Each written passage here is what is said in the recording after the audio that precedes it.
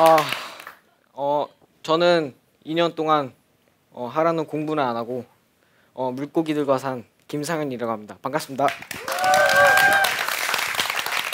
어, 제가 오늘 여러분들께 소개시켜 드릴 건요. 어, 다양한 개성가 있고 다양한 매력 있는 어, 열대어들을 소개시켜 드리려고 하는데요. 기대되지 않나요? 이건 제 어항 사진인데요. 어, 이 어항에는 지금은 잘 안 보이시겠지만 한 100여 마리 정도가 살아요. 근데 이 어항 속에는 굉장히 많은 물고기들이 있고 그 물고기들만의 개성이 있거든요. 근데 이 개성들이요. 어, 제가 세 가지로 추려왔어요. 첫 번째, 이 우리의 친구 열대어 우리의 열대어는요. 굉장히 약해요. 그왜 약하냐면 이 열대어 친구들은요. 수온이 갑자기 높아지거나 갑자기 어, 산도가 갑자기 높아지거나 이러면 죽을 수도 있거든요. 그래서 이걸 굉장히 잘 관리를 해줘야 돼요. 어, 두 번째 특징은요. 이 열대어 우리의 열대어는요. 진화를 한다는 거예요. 근데 이 물고기 중에서 이제 이 물고기가 바로 코리도라스라는 물고기인데요. 이 물고기가 가끔씩 이게 장 운동을 하러 물 밖으로 나갔다가 빨리 들어가요. 근데 그럴 때 가끔 이렇게 잘못해서 어항 밖으로 튕겨져 나올 때가 있어요. 그래서 제가 밤에 자다가 이렇게 팔딱팔딱거리는 소리가 들렸는데 그냥 자는데 다음 아침에 일어나니까 멸치가 돼 있더라고요.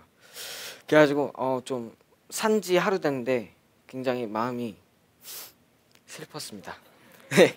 세 번째로는요 혼자 있으면 안 된다요.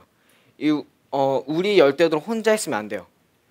물고기 중에서 네온테트라라는 물고기가 있어요. 여러분들도 잘 아시겠지만 네온테트라는 물고기는요 군형을 하는 물고기거든요. 여러 마리가 같이 다녀요. 근데 문제가 뭐냐면 한 마리만 키우게 되다 보면 이 열대어가 가만히 있어요. 가만히 있고 먹이도 안 먹고 움직이지도 않고 자지도 않아요. 그 이유가 굉장히 불안에 떨어하거든요. 그러다가 한 3, 4일 되면 애가 물을 이렇게 물 그러니까 수리에 흘러다니다가 죽게 돼요. 그런 것처럼 우리 애 열대어는 혼자 있으면 안 돼요. 외롭거든요. 어, 이 외에도 베타라는 물고기가 있는데요. 이 베타라는 물고기는 수중 밖으로 숨을 쉬는 아가미가 있는데도 숨을 쉬고요. 또 토마시라고 달팽이가 먹는 친구들이 많아요. 근데요, 여러분, 제가 말씀드린 것 중에 좀 이상한 점 못 찾으셨나요? 이상한 점 찾았다면 손 좀 들어주실래요?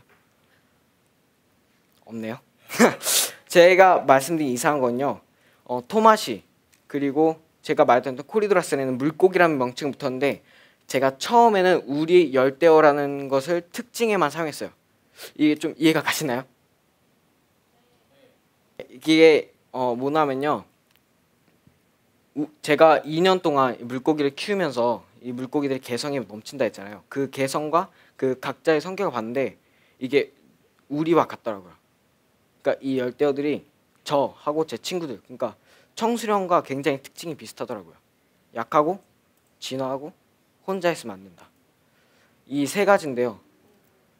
어, 아, 오 하시니까 까먹었네요. 아, 긴장해서.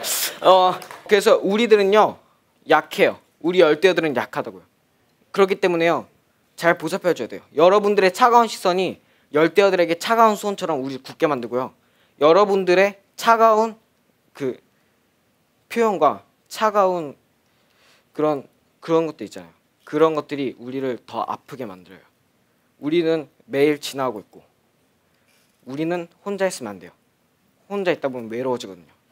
그리고 어, 비행 청소년 그리고 왜 학교에 가면 수업하자마자 엎드려서 자는 친구들 많잖아요.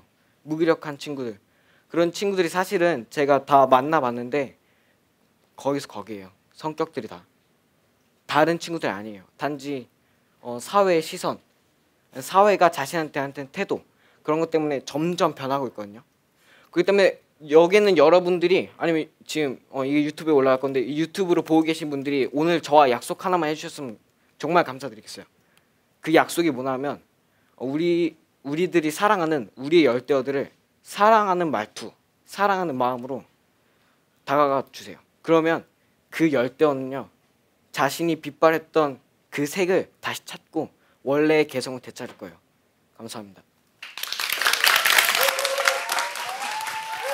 마지막으로 할 말이 있는데요. 어제 유튜브로 친구들이 볼 거예요. 아무래도 학교에 가면 애들 막 저 유튜브 올라왔다고. 그냥 한 마디만 할게요. 악플 달지 마. 감사합니다.